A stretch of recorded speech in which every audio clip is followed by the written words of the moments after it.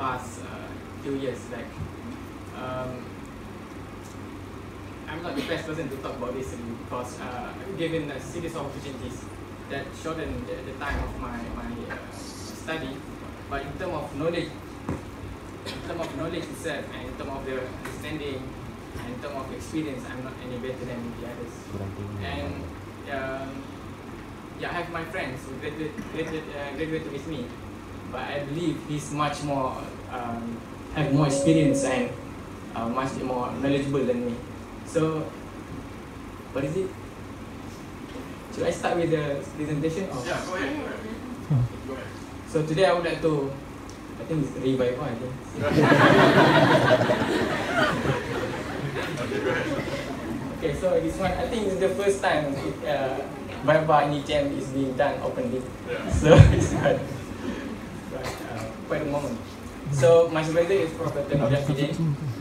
She is one of the experts uh, of in, in, especially in, in the field of laser in Malaysia.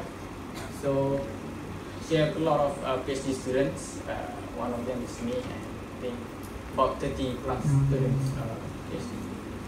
And my thesis title is and optimization. So it's basically my, my topic. So uh, introduction. Laser has revolutionized the man- material manufacturing industry by providing alternative for processes such as cutting, uh, drilling, or marking, engraving, and surface modification. Surface modification particularly is a, is a process uh, that we aim to, to modify a thin layer surface of a material so that we can improve we can um, improve the surface independent properties of that material. Best example is aluminium. Uh, aluminium poses uh, lightweight, um, so it is cheap. And but the only drawback for aluminium to be used as much as steel that have been used in, in heavy heavy material, uh, I believe in, in industry, is because of its poor surface hardness. So by surface modification, we can engineer the surface of aluminium so that we can increase, we can improve the surface hardness of it, so that it can be used as much as steel. But uh, by this process, we can retain the original uh, properties of aluminium.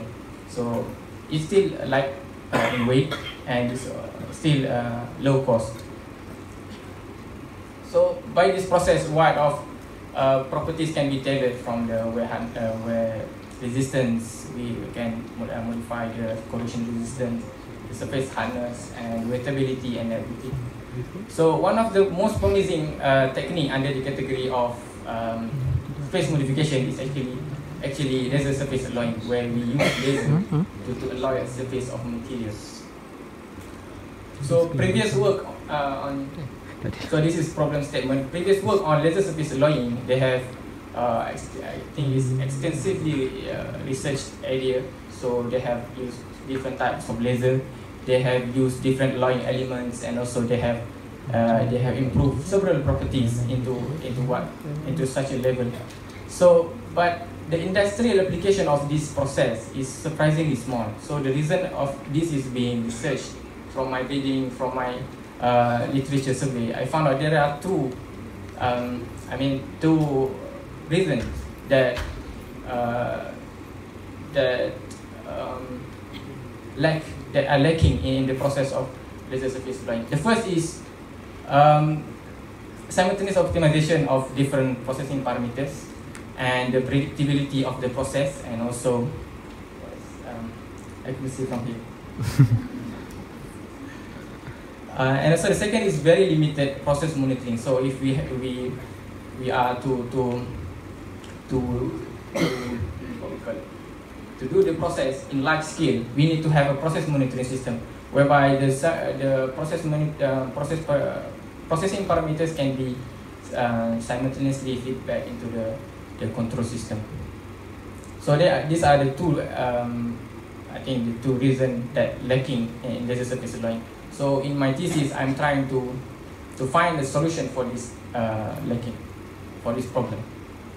So the objective of my thesis is actually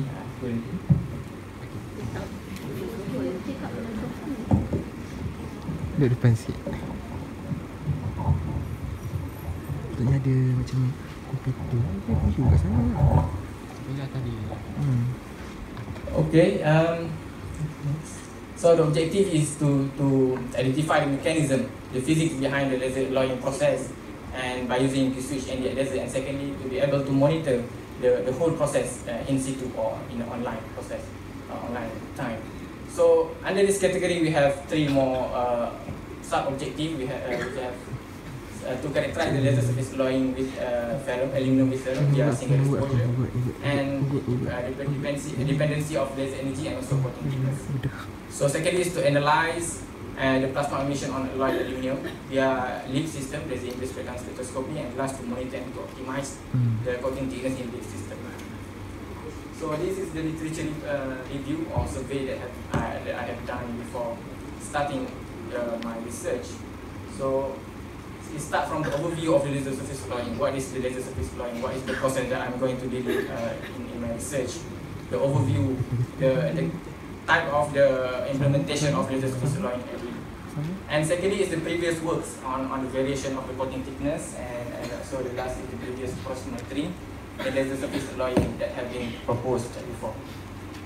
So laser surface alloying, uh, I think it's just brief. I think the, the time given to me is very short, so I just skip this.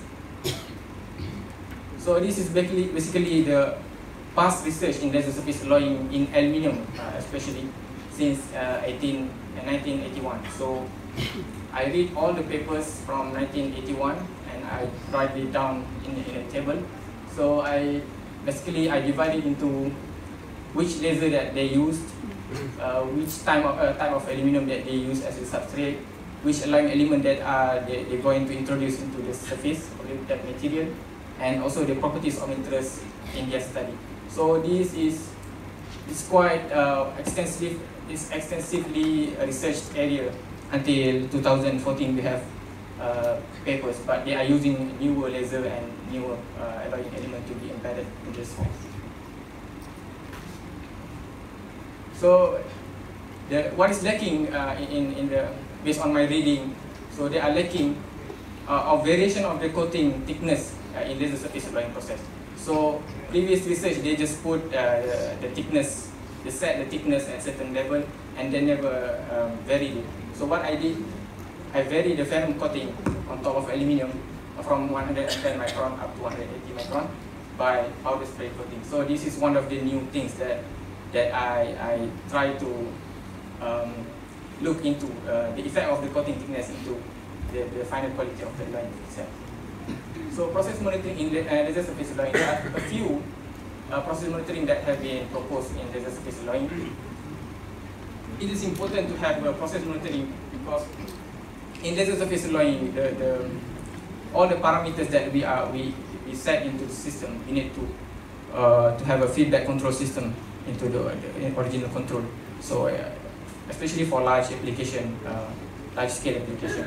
So some of them using uh, process control computer system based on fuzzy logic algorithm, and some of them using uh, optimization using X-ray imaging. But this one is very expensive because it uh, it have a safety measure because it uh, it uses X-ray. And lastly is it they, they develop a simple and low cost process monitoring by using um, photodiode. But this one is very simple and uh, less information can be retrieved from that.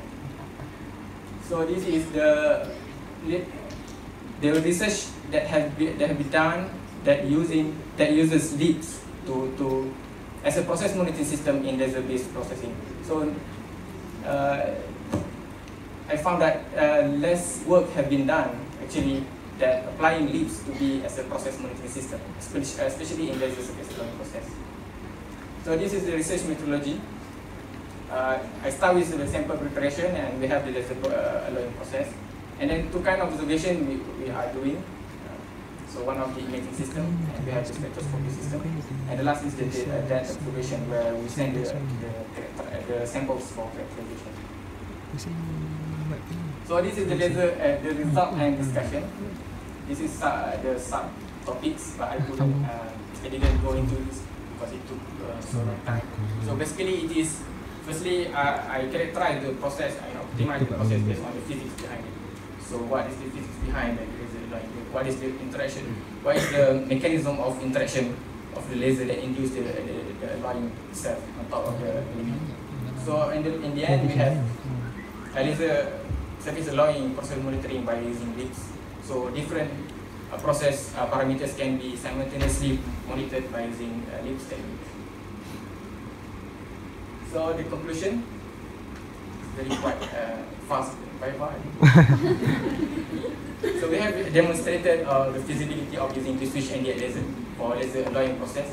Less work have been done using Q-switch and laser process because Q-switch and laser it causes uh, vaporization and, and actually it um, basically in, in, in the other process they actually destroy the sample. It's, it's destructive. This uh, destruct in destruction in, in, in nature.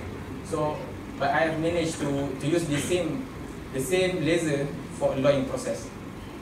And then, so I have optimized the laser surface alloying process based on the uh, two parameters, which is the coating, uh, thickness and also the energy. And the analysis from the plasma that forms on top of the surface region of aluminum is is being characterized spectroscopically. And then the information of the the process is then uh, correlated with the final uh, alloying uh, properties. So I think that's all.